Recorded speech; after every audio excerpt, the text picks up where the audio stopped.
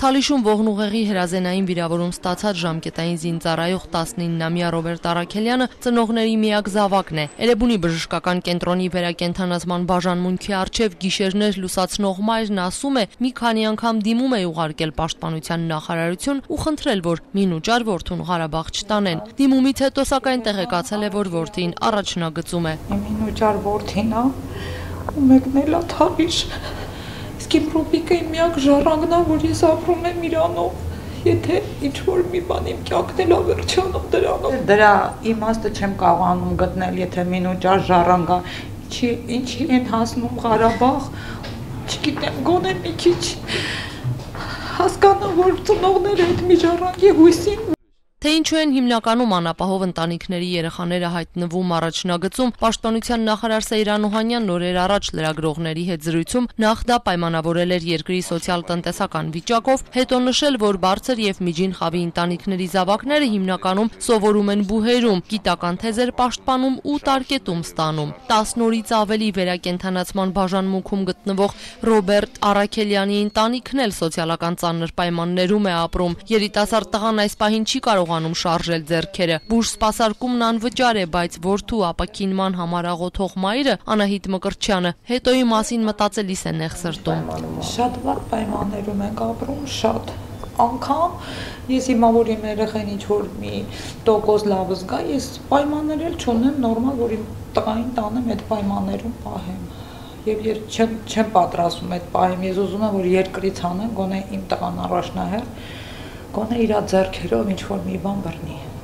Ղարաբաղի ադրբեջանական շփման գծում վիրավորված ժամկետային պայմանագրային զինծառայողների ու կամավորների ընտանիքներին պետությունն այս պահին դրամական աջակցություն չի ցուցաբերում։ Սոցիալ նախարարության պաշտոնյան Սմբատ Սայյանն այսօր լրագրողների հետ հանդիպմանը հայտնեց միայն զոհվածների ու հաշմանդամություն ձեռք բերածների ընտանիքներին տրվող գումարը։ Դա սկսվում է ամսական 30000 դրամից։ Օրինակ երեխաները այդ գումարը կստանան մինչև 18 տարին լրանալը,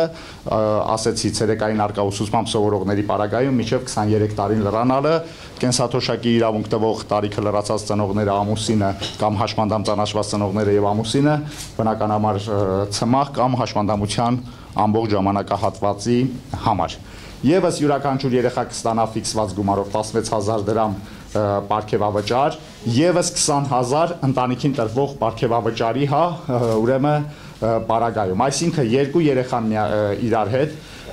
կստանան մոտավորապես 180 հազար դրամ։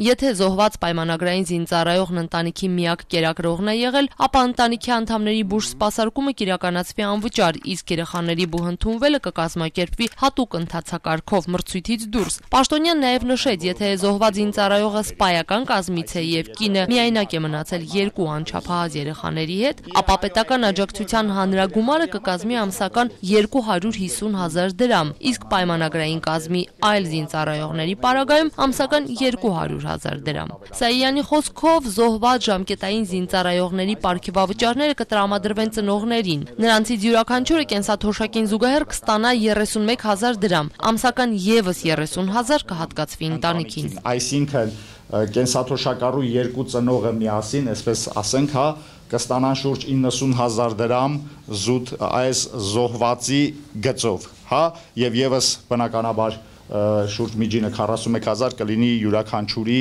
կենսաթոշակի չափը։ Ցավոք, եթե զոհված ինձարողի ընտանիքի անդամը կենսաթոշակային տարիքի չէ, ապա նա այս նշածս երաշխիքներից, այսպես ասենք, հա, չի օգտվի։ Ղարաբաղի ադրբեջանական շփման գծում վիրավորված հետագայում հաշմանդամ դարձած զինծառայողների թոշակին նաև պարգևավճարներ են գումարվում։ Եթե առաջի խմբի իսպայական անձնակազմի համար ասեցինք արդեն շուրջ 110000, պայմանագրային կազմի մնացած հա միջին զինծառայողների միջին չափը շուրջ 95000 սումար գումարը ապա ուրեմն պարտադրի ժամկետային զինծառայության պարագայում այդ գումարը կկազմի շուրջ 90000 դրամ կրկնում եմ խոսքս վերաբերվում է առաջի խմբի հաշմանդամների